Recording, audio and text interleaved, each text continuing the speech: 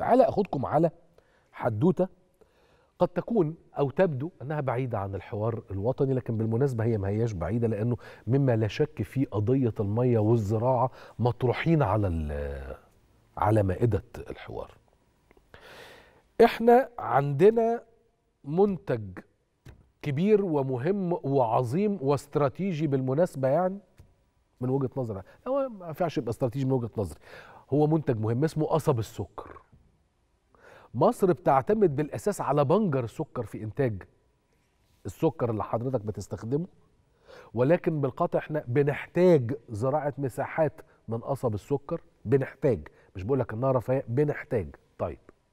وعلشان نفضل نزرع قصب السكر اللي إحنا محتاجينه بالمساحات اللي إحنا عايزينها لازم يكون في عندنا تصور مختلف في طريقة وإدارة استخدامات المية إدارة الري نفسها. لأنه بيحتاج بالطرق القديمة بيحتاج ميه كتير جدا. عارف كده زي الرز بالطرق القديمة والأصناف القديمة بتحتاج ميه كتيرة جدا. عشان كده مصر طورت أصناف جديدة من الرز قد تكون هي الأكثر تطورا على مستوى العالم بتستهلك أقل معدل من الميه وبتعلي معدل الإنتاجية في نفس الوقت. تيجي وزارة الزراعة المصرية مشكورة ووزارة الري يعلنوا عن استراتيجيتهم لإيه بقى؟ منظومة ري حديث في مزارع قصب السكر. من شأنها زي ما كنت بقول بقى زي ما حصل زي ما عملنا قبل كده مع الرز. نرفع الإنتاجية بتاعة الفدان وفي نفس الوقت نقلل من مستهلكات المية. أنا من الناس بصراحة اللي مستمخ قوي من وزارة الزراعة جدا والله العظيم ودون مجاملة وما عنديش أي انحيازات يعني. فعلا مش هزار مستمخ قوي. خلونا ناخد معانا على التليفون الدكتور محمد القرش المتحدث باسم وزارة الزراعة.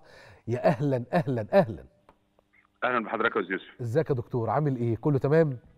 الله يخليك سعيد بتواجدي مع حضرتك. والله يا دكتور أنا بحبكم لله في لله وبحبكم عشان شغلكم حلو يفرح يعني. الله يخليك يا فندم. يا رب يخليك يا دكتور. دلوقتي أنا يعني إحنا كنا زمان أما نسمع عن كلمة مثلا الرز يقول لك رز يعني مية. وكانوا أهالينا في البلاد اللي بتزرع رز يروحوا راميين فيه بقى معاه كمان زريعة سمك من كتر ما هو كان بيبقى عامل زي البحيرات كده في الموسم بتاعه. نفس القصة قصب يعني عايز مية. هتعملوا إيه يا دكتور علشان نقدر نحافظ على مساحات القصب ونرفع إنتاجيتها بس بمية قليلة؟ تيجي إزاي دي؟ يعني الأول اسمح لي أشكر حضرتك يا فندم شكرا جزيلا. العفو يا فندم وطبعا. إحنا شايفين جهود كبيرة بتبذل من الدولة المصرية لتطوير القطاع الزراعي. طبعا عشان نعمل هذا الكلام إحنا بنشتغل على عدد من المحاور من ضمنها تطوير إنتاجية وحدة الأرض ووحدة المية والوصول إلى أقصى استفادة ممكنة منها. حلو. وده بيحصل في الأرض القديمة وإحنا بنشوف مشروعات كتيرة بيتم تنفيذها في هذا السياق. على سبيل المثال حضرتك اتكلمت على موضوع الأرز. الأرز إحنا دلوقتي طورنا تقاوي جديدة من الأرز اللي هي السوبر 300 وده حصل على جوائز دولية وبالتالي ده بيدي إنتاج عالي وفي نفس الوقت بيستهلك كميات ميه أقل بكتير جدا أيوه وبالتالي يساعدنا في إن إحنا نلبي احتياجات المواطنين بنفس المقنن المائي المخصص لزراعة ال- الأرز ده وفقا ل آه، الاتفاقية وفقا للآلية اللي تم الاتفاق عليها آه، بين آه، وزيري الزراعة والري واللجان المشكلة أو اللجنة المشكلة آه، بين الوزارتين في هذا الإطار. آه، فده ده تطور بيحدث نتيجة البحث العلمي ونتيجة تكثيف الجهود البحثية ونتيجة تطوير التقاوي واستنباط اصناف جديده من التقاوي. في ملف القصب وده ملف مهم جدا إحنا بنزرع مساحة كبيرة من القصب تقريبا تقترب من 350 ألف فدان في صعيد مصر هذه المساحة آه، بت- بتمثل لنا مش بس جزء مهم عشان هي بتوفر لنا جزء من احتياجاتنا من السكر ولكن هي مصدر دخل لعدد كبير من المزارعين. طبعا ده كان بيدينا في المتوسط قبل كده حوالي 30 طن الفدان ممكن أكتر شوية ممكن أقل شوية لكن إحنا بنتكلم حوالين ال 30 طن الفدان.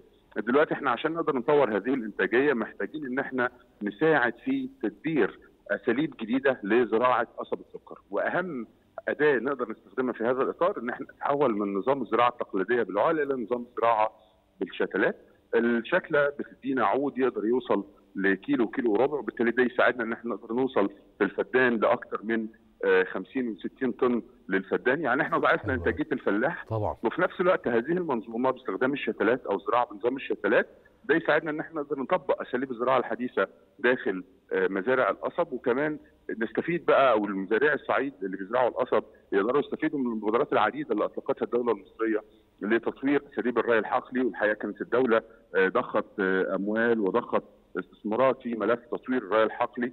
وتشجيع المزارعين على التحول من نظم الري التقليدية لنظم الري المطورة إلى جانب المشروعات العديدة اللي نفذتها الدولة المصرية لمعالجة المياه الخاصة بالصرف الزراعي عشان نقدر نوفر مورد مستدام للمياه هيساعد في زراعة الأراضي الجديدة اللي إحنا بنشتغل عليها مشروع الدلتا الجديدة شفنا محطة بيتم إنشائها في منطقة الحمام هي الأكبر بتنتج 7.5 مليون متر مكعب أيوه. ميه يومي ومحطة المحسمة برضو بتساعدنا إن إحنا نقدر نطور من منطقة اللي هي بتاعت سيناء وهذه المنطقة.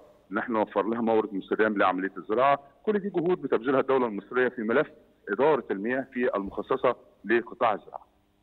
طيب دكتور أنا عندي بقى هنا سؤال على مسألة الإنتاجية بتاعت الفدان إنها تزيد الضعف ده شيء رائع. وزن عود القصب هيبقى أزيد ده شيء رائع جدا. بس هيبقى أزيد هيبقى أزيد مية ولا هنحافظ على معدل السكر اللي موجود فيه؟ لا يعني وفقا للدراسات أو وفقا للباحثين اللي اشتغلوا في هذا الإطار إحنا بنتكلم على زيادة نسبة السكر كمان حلو. في القصب اللي بيطلع نتيجة الزراعة المطورة أو الأساليب الزراعة الحديثة اللي بيتم تطبيقها. ويمكن إحنا قبل ما نتكلم على منظومة إنتاج الشتلات أو تطوير الزراعة بنظام الشتلات إحنا كنا مهتمين إن إحنا نعمل تجارب بحثية ويمكن الباحثين في معهد بحوث المحاصيل السكرية واللجنة المتخصصة في المحاصيل السكرية اللي هو مجلس المحاصيل السكرية ومركز البحوث الزراعيه وكافة المختصين درسوا الموضوع بدراسة بعناية كبيرة جدا. والدولة ضخت استثمارات الحقيقة في هذا الإطار وإحنا عملنا محطة في وادي الصعايده لانتاج شتلات القصب. إحنا بنتكلم في أكثر من 80 مليون شتله قصب وده يعني يخدم أهالي صعيد مصر بشكل كبير ويوفر لهم الشتلات ويساعدهم في التحول من نظم الزراعه بالعقل إلى نظم الزراعه بالشتلات فالموضوع معمول له دراسات كتير ومعمول له شغل بحث علمي كبير جدا عشان نقدر نوصل لهذه النتائج وإن شاء الله يكون تطبيقه تطبيق يؤدي إلى نتائج ملموسة لخدمة وتعظيم القطاع الأمن الغذائي وتوفير احتياجات المواطنين من السكر كمكون رئيسي من مكونات السلع الاستراتيجية اللي بيحتاجها البيت المصري. هايل هايل هايل أنا بشكرك جدا يا دكتور كل الشكر للدكتور محمد القرش المتحدث باسم وزارة الزراعة المصرية.